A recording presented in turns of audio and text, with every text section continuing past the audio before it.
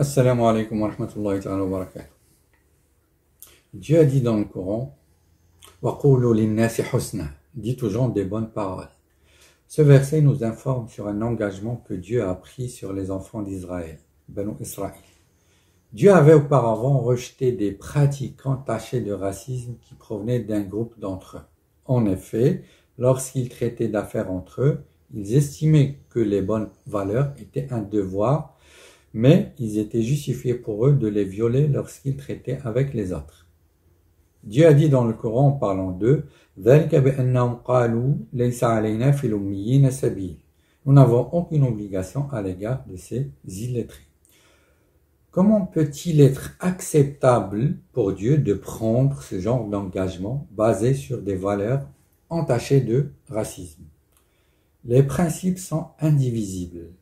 L'imam al-Qurtubi, un grand savant, dans son interprétation de ce verset, a dit ainsi, une personne doit être douce dans ses paroles envers les gens, avec un sourire, avec les justes et les immoraux, les croyants et les non-croyants, sans flatterie. Donc le verset qui dit Dites aux gens de bonnes paroles inclut tout le monde sans exception. Mais que signifient les bonnes paroles ici? Est-ce un bien général ou limité? Il est clair, au vu du contexte ici, que ça parle de tout ce qui peut être bon, sans l'attribuer une partie sans une autre. Les grands savants ont dit sur ce verset, dites-leur ce que vous aimerez qu'ils vous disent. Certains savants ont cité le verset comme preuve de la permission de dire salam aux non-musulmans. Donc le verset qui dit dites de bonnes paroles aux gens inclut toutes les bonnes paroles et ne se limite à aucun type de parole.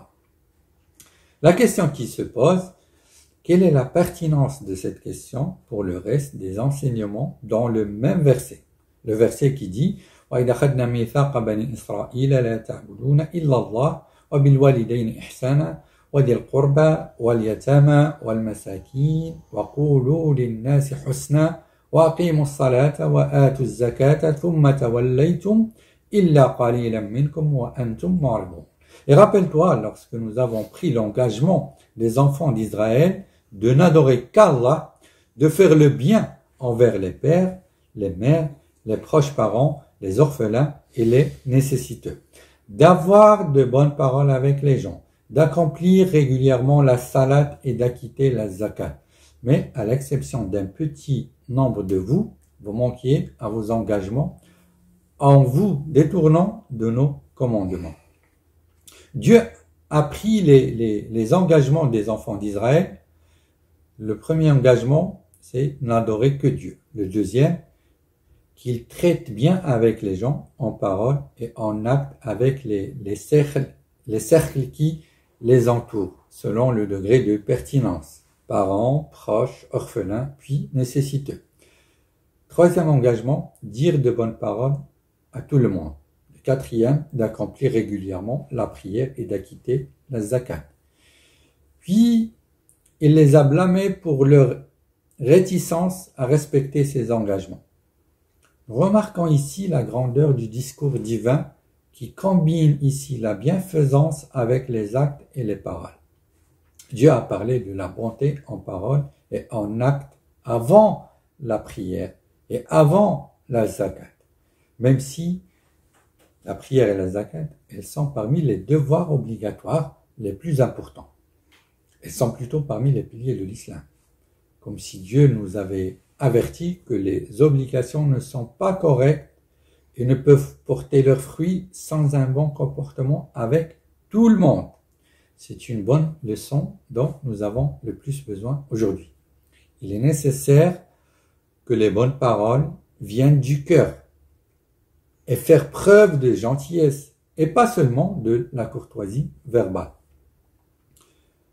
Le prophète sallallahu alayhi wa sallam a dit Je jure par celui qui détient l'âme de Mohammed dans sa main, aucun d'entre vous ne sera croyant jusqu'à ce qu'il aime pour son frère ce qu'il aime pour lui-même combien.